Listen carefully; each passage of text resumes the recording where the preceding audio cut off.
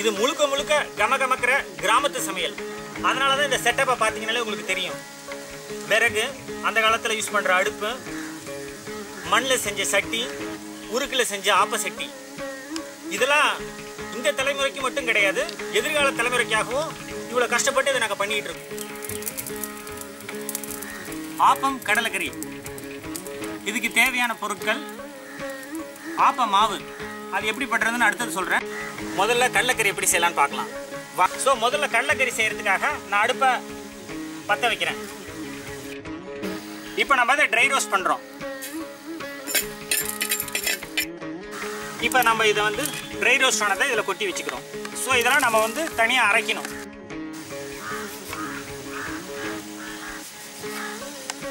நல்லா பொடியை கட் பண்ணிக்கோங்க. இதை வணக்கி இதை நம்ம அரைக்க போகிறோம்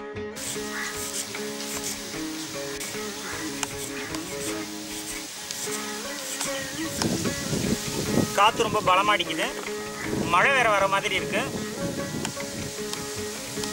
ஸோ நல்ல கிளைமேட் சூடாக ஆப்பம் செஞ்சு சாப்பிட்டா கேட்கதா வேணும் உங்களுக்கு?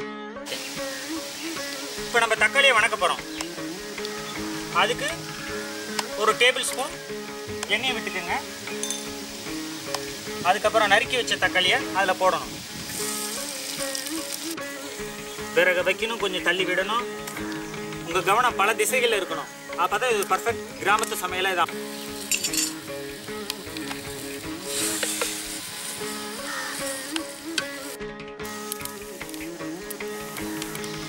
நெக்ஸ்ட் பூண்டை நல்லா நைஸாக கட் பண்ணிக்கணும்.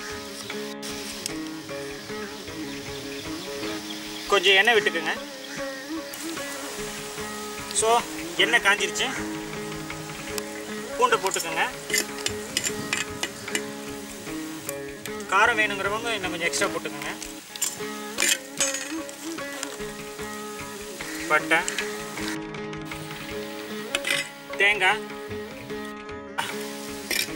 ரோஸ்ட் ஆனதுக்கப்புறம் ஏற்கனவே நம்ம ட்ரை ரோஸ்ட் பண்ணி வச்சுருக்கிற கசகசா சோம்பு மிளகு அப்புறம் ஜீரகம் இது கூட இதையும் சேர்த்து பேஸ்ட் பண்ண போகிறோம் நெக்ஸ்ட் ஏற்கனவே ட்ரை ரோஸ்ட் பண்ணதை எடுத்துக்கோங்க. அதுக்கப்புறம் இங்கே நல்லா ரோஸ்ட் ஆனதை இதை எடுத்துக்கோங்க. இதை நல்லா பேஸ்ட் பண்ணிக்கணும். முடிஞ்ச அம்மியில் பண்ணுங்க. முடியாதவங்க மிக்சியில் பண்ணுங்கள் இதுதான் பேஸ்ட் நம்ம ட்ரை ரோஸ்ட் பண்ண கசகசா சோம்பு கிராம்பு அப்புறம் இப்போ பண்ண தேங்காய் மிளகாய் எல்லாம் அரைச்ச விழுது. இது நம்ம மணக்கி அரைச்ச தக்காளி விழுது.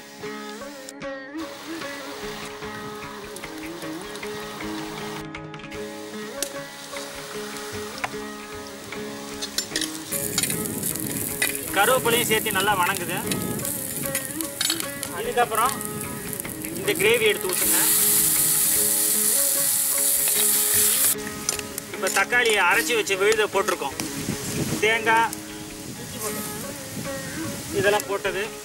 அடுத்தது தேங்காய் கசகசா சோம்பு இதெல்லாம் அரைச்சி வச்சது. அதையும் மிக்ஸ் பண்ணி நல்லா கலக்கிறோம். இதுக்கப்புறம் கொஞ்சம் மிளகாத்தூள் காரத்துக்காக கொஞ்சம் மஞ்சத்தூள்.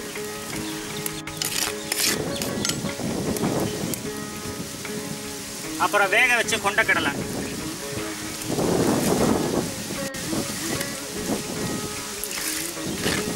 அதெல்லாம் போட்டு நல்லா கலக்குங்க. இப்போ அதை நல்லா கொதிச்சிருச்சு. இப்போ தேங்காய் பால் இதில் ஊற்றுறோம் இதனுடைய ருசியே இந்த தேங்காய் பாலில் தான் இருக்குது அப்பா வாசனை கமகமன்னு தூக்குது. கொஞ்சம் உப்பு போட்டுக்குங்க.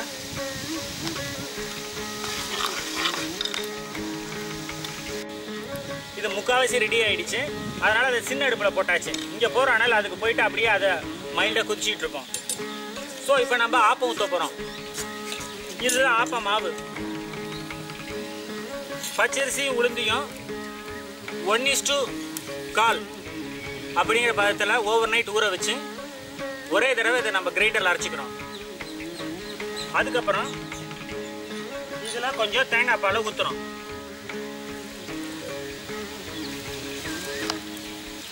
ஸோ தேங்காய் பால் அந்த ஆப்பத்துக்கு நல்ல சுவையை தரும். அது இல்லாமல் நம்ம ஆப்பம் ஊற்றுறதுக்கு உருக்கு சட்டி வச்சுருக்கோம். உருக்கு சட்டி அப்படிங்கிறது இரும்பும் மண்ணும் சேர்ந்த ஒரு கலவை. ஸோ நீங்கள் கீழே போட்டிங்கன்னா உடஞ்சிரும். இப்போ நம்ம ஆப்பம் ஊற்ற போகிறோம் இது தேங்காய் நாரனால நல்லா ப்ரெஷ் பண்ணி விட்டுருங்க உள்ள.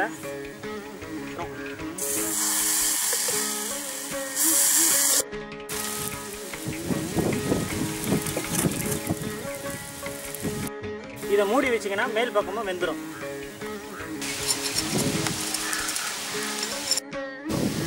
இப்போ ஆப்பம் நல்லா வெந்துருச்சு. அழகாக எடுக்கிறோம் வாவ். ஸோ இதுக்கு அருமையான சைட் டிஷ் ஆப்பம் கடலைக்கறி. ஆப்பம் தேங்காய் பால் கூட இன்னொரு காம்பினேஷன் அதையும் கூட நீங்கள் ட்ரை பண்ணலாம். இப்போ இதை நான் சாப்பிட்டு பார்க்க போகிறேன் இப்போ சாப்பிட முடியாதவங்க அப்புறம் நான் சொன்ன ப்ரொசீஜரை படி செஞ்சு சாப்பிட்டு பார்க்கலாம். இது நல்லா மிக்ஸ் பண்ணி அந்த கொண்ட கடலையோட சேர்த்தி. வா இதுக்கு தேவையான பொருட்கள். முதல்ல கடலக்கறி. கடலக்கறிக்கு ஒரே வார்த்தையில் சொல்லணும்னா